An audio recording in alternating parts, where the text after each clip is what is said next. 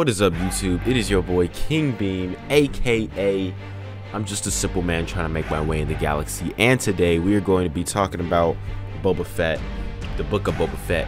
That is, um, this show is pretty mid in my humble opinion. It's not, it's not the greatest show. Um, I just finished watching episode four. Now, granted, episode four was a banger. Ep episode four was definitely a banger, but the show overall is not very good. So, uh, you know, just gonna talk about it for a few minutes. Uh, don't forget to leave a like on the video, subscribe if you are new, turn on the post notifications so you never miss a single video I'm putting out. We upload them weekly, so you got a whole bunch of stuff to go and watch. All right. Without further ado, let's get into this video. So, the Book of Boba Fett. Um, episode one was mid. um, it was it was a pretty okay entrance into the series. I didn't like how everything kind of felt so disjointed between the now what's happening now and what happened in the past.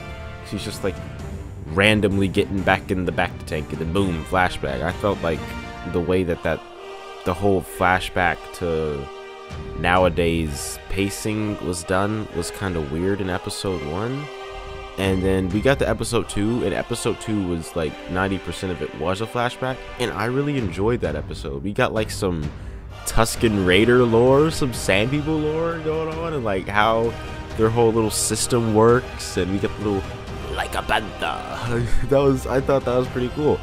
And then um and then then we get to episode 3 yeah episode 3 exists. We um we have cyberpunk characters in the show now. Um, that weird little uh, chase scene with the Power Rangers. There was, it was supposed to be a chase scene. It was not a high speed chase. It was um quite the slow chase. In fact, I don't know what they did with that editing.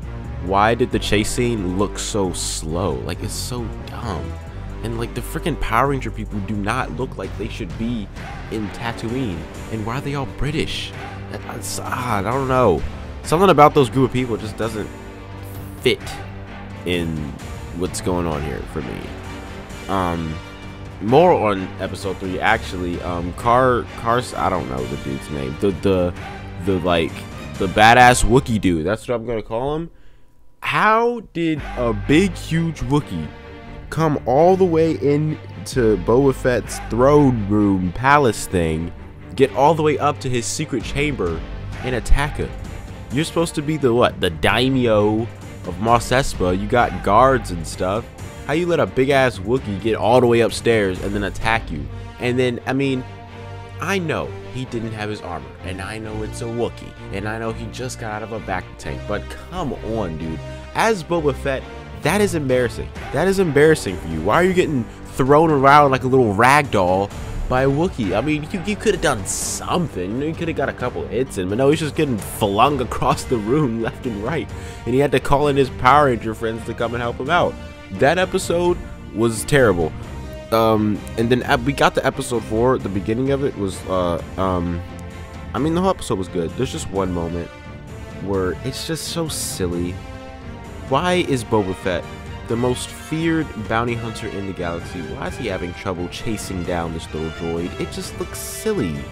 Like, come on, bro. You're supposed to be Boba Fett. Why why are you chasing around a little mouse mouse droid thing in a kitchen and you can't catch it? Like that makes zero sense.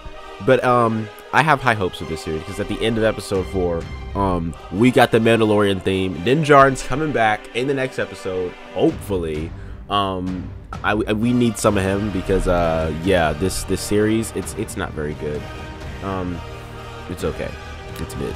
But um it's just like I don't really understand how Boba Fett like his personality switched so fast. Like when we last saw him he was like I mean like in when we last saw him in episode 6 he was like this cold-blooded like killer like bounty hunter dude. And then we get to the book of Boba Fett and he's just like this oh yeah I'm nice now. I'm gonna help everybody out and stuff. Like he's not ruthless anymore. I mean even in the Mandalorian when he first showed up like he was that was a banger. He showed up and murked an entire platoon of stormtroopers by himself essentially.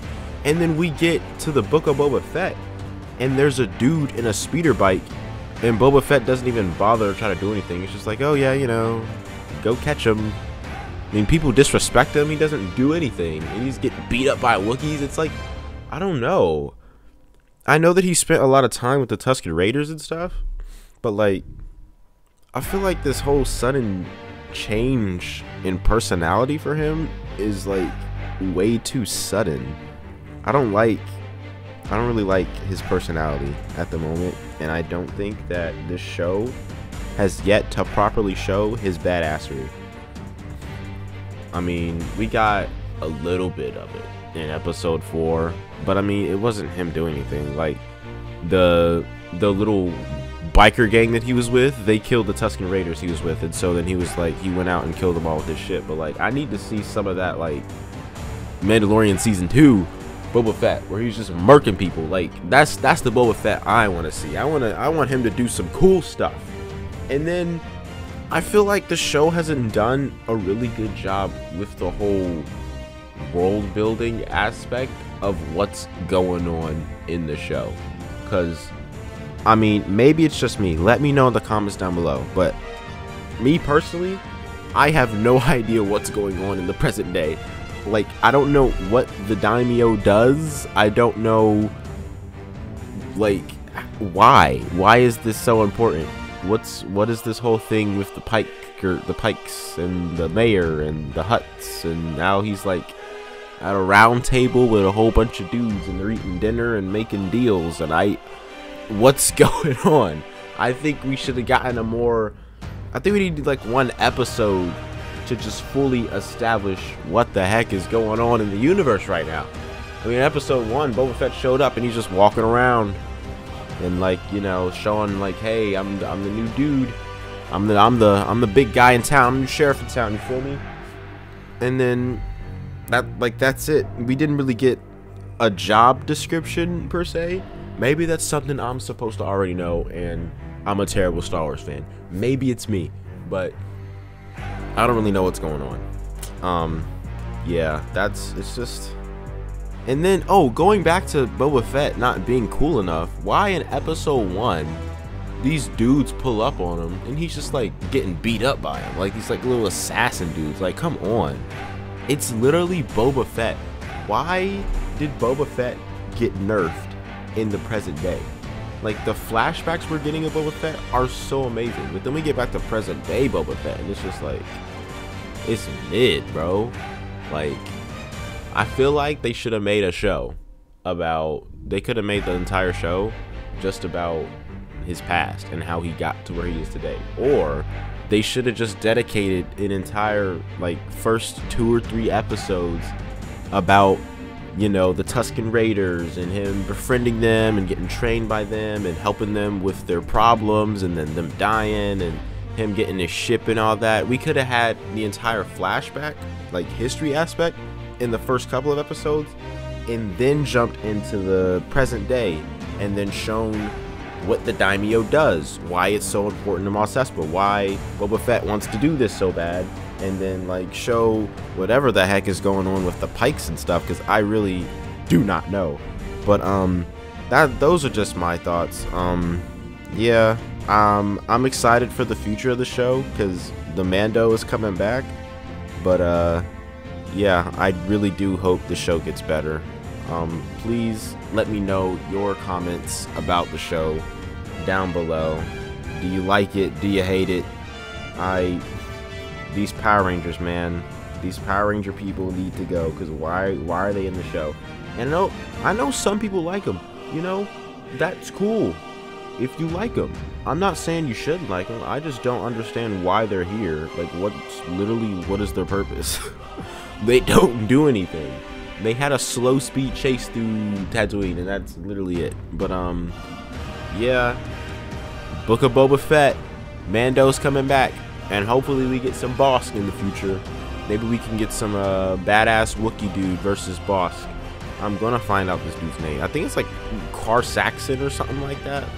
But I feel like that's a Star Wars Rebels character that um getting mixed up with. I'm I'm literally gonna search it up on my phone right now. Let's see. Wookie and Boba Fett. What's his what's his name? Oh, Black Chrysanthemum. Oh yes, Chrysanthemum. Yes. I'm so smart. Chrysanthemum. Okay. Badass Wookie dude.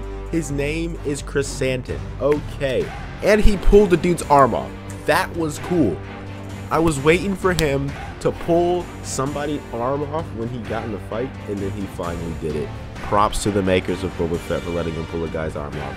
Um, yeah, if you enjoyed the video, please leave a like, subscribe if you are new, come and join my crew, the Simpat Pirates.